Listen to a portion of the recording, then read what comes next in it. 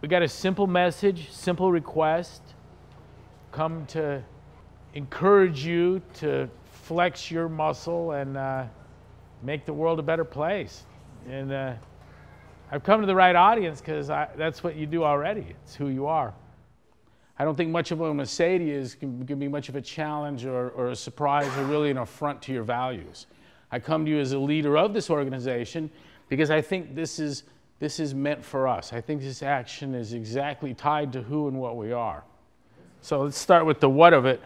Um, you're sitting there, you see this card, might be stuck to your butt, but it's Crush Big Soda, Take Action. This is us, this is you, this is, this is, this is the affiliates and I and staff. And when you go there, read what it's trying to do. It's supporting Senate Bill 203, which has to get through a health committee, California Senate Bill 203, which uh, has to get through a health and an appropriations committee. And quite simply, it puts a warning label on sugary uh, beverages. And that warning speaks of um, obesity, diabetes, and tooth decay. Just that simple. We're in a district here where we have 20 affiliates and 20 dialysis centers. Dialysis is it's end stage renal disease. Your kidneys don't work anymore. That's, uh, that's significant because CrossFit is in a race with, di with dialysis centers uh, all, over the, all over the country, uh, maybe, maybe in the world. There are 6,700 dialysis centers in the United States, and there are 7,200 CrossFit gyms. We were told at Harvard that we were the fastest growing chain of our size in world history that nothing had ever, all the things bigger than us never grew at the rate we're growing.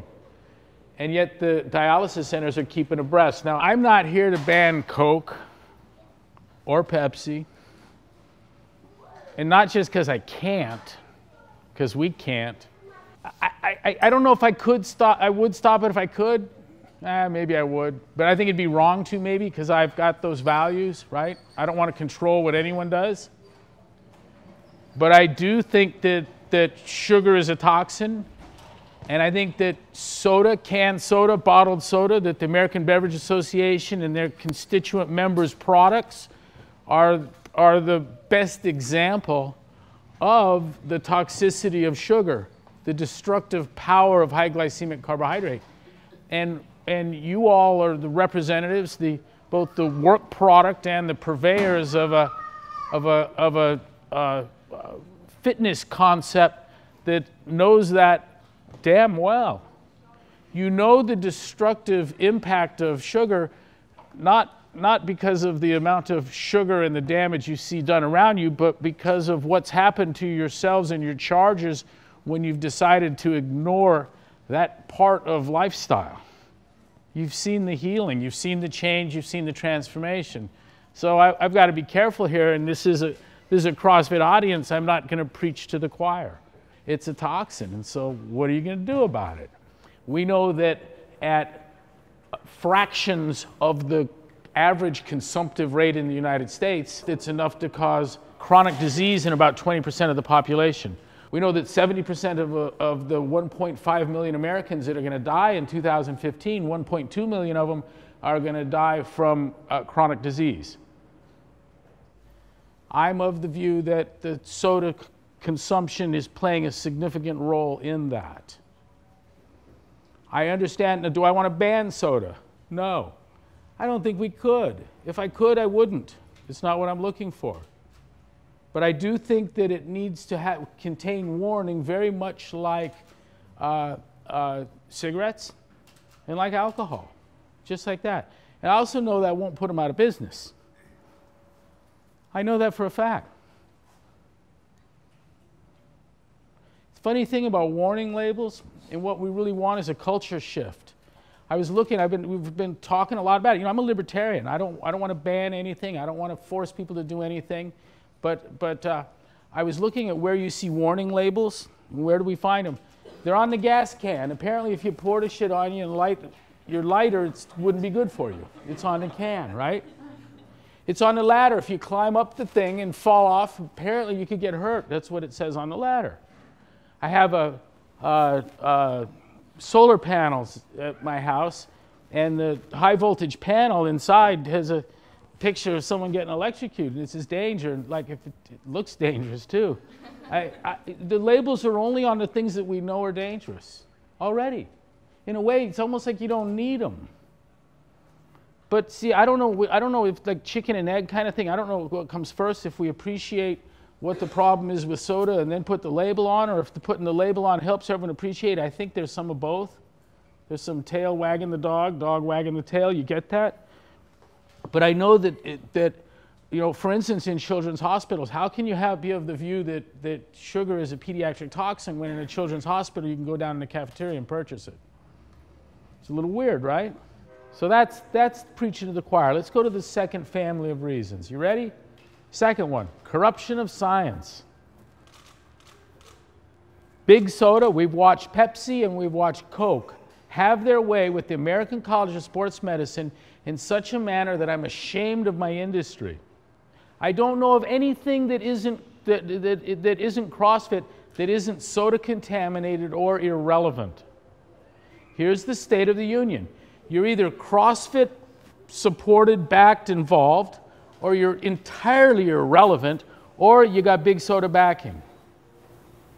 This includes the American College of Sports Medicine, the NSCA, Mixify, Global Energy Balance Network, Exercise is Medicine, all of what has been, I don't know if any of you have seen, but there's been a, a, an enormous storm of news um, globally about the, the corruption of the, of the health sciences by soda. Your leadership, CrossFit Inc., we dug in and challenged Gatorade and the Gatorade Sports Science Institute and the American College of Sports Medicine on the singular, singular subject of hydration, thermoregulatory science, and hydration science.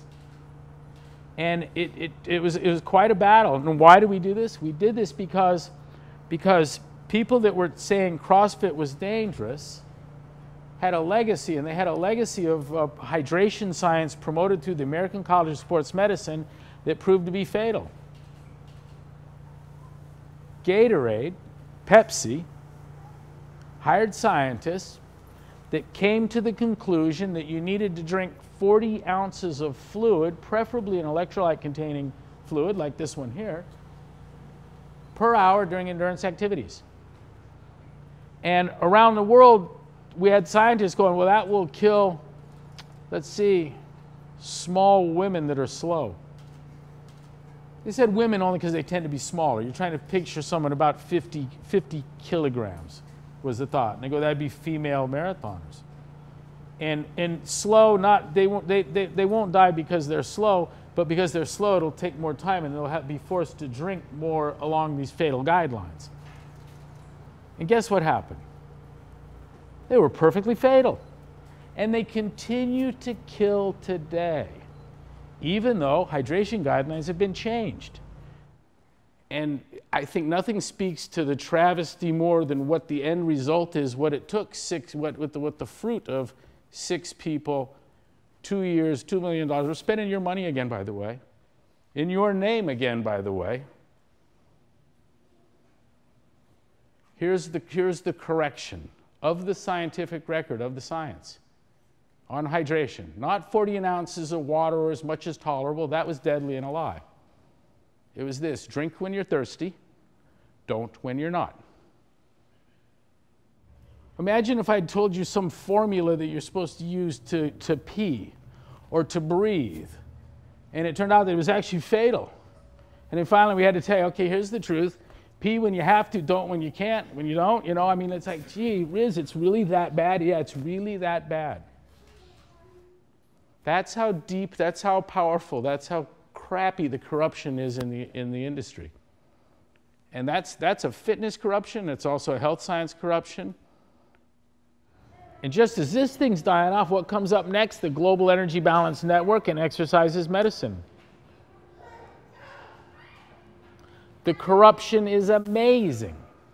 And it's the corruption of academia, it's the corruption of industry, the corruption of government, the wholesale corruption by Big Soda, by American Beverage Association, and its constituent members has been devastating. Devastating. nothing has been hit harder in terms of just being taken over completely um, by big soda than the fitness industry. Fitness got fucked by soda pop. Absolutely devastated. Devastated. Most of what we believe was dead wrong because of soda. Uh, the low fat, high carb, that's them. It ain't us. The ACSM is still pushing a reduced fat fare. They're still hyperhydrating. The corruption. It's, it's, it's beyond the pale. I told, I, I announced publicly I'm going to drive, we are going to drive, my community is going to drive soda pop out of sports medicine and by extension the health sciences. I added that by extension the health sciences because we, we, won't, we won't get them if, they're, if, they're, if they can pay off the pediatricians and the cardiologists, we'll never get them out of fitness. And so we got to do this for everyone all at once. Look what we're doing. We're driving them out. That's what it looks like. And we're going to keep driving them out. So the shit's just toxic. Their corruption has been, has been absolutely just uh, like unforgivable. Here's the third one. CrossFit is in a battle with the NSCA and the ACSM, and both of them are, are heavily supported by Big Soda. And so what we've come to find is while you've been working hard unlocking the doors at 5 a.m., and I realize that means you get up at 4. I know what that lifestyle is like. While this has been going on, there's been a conspiracy, if you will, of people like the ACSM, the NSCA, and uh, USREPS and ICREPs. They've been lobbying, they've been legislating, they've been conducting a public relations campaign that has, mount, that has, that has resulted in 19 pieces of legislation that this was their campaign to label you dangerous. Um, CrossFit has enemies. It starts with the American College of Sports Medicine. It works by connection to that their twin pillar and friends, the NSCA. It includes these organizations that the ACSM has, and Coke have started, like Global Energy Balance Network. It includes Exercise is Medicine and Mixify and the American Beverage Institute for Wellness and the American Beverage Association and uh, week, these are all like 501c3s and there's just so many of them. Well, they lie about CrossFit, they lobby against CrossFit, and they started legislating. Oh, USREPS, IC reps. Now, in full disclosure here, but like it come as no surprise, we are suing uh, several of them to wonderful effect. We're turning them inside out through deposition, through discovery. Um, uh, we're learning some beautiful, beautiful things. So, so just from, from my first consideration was toxicity. Fair enough, right? You understand, I'm not calling for a ban. I don't envision it banned. I don't want it banned. I'm not, I'm not a ban things guy. I'm a tell the truth guy. Okay, it's toxic. Second, the corruption. Here's my thought, and we've seen it already. You know, all the give the money back, give the money back. They're giving the money back because of the toxicity, because we're making the point.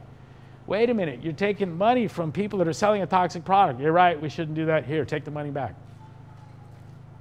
So the corruption of science ends when we taint the dollars. We taint the dollars by pointing to the toxicity.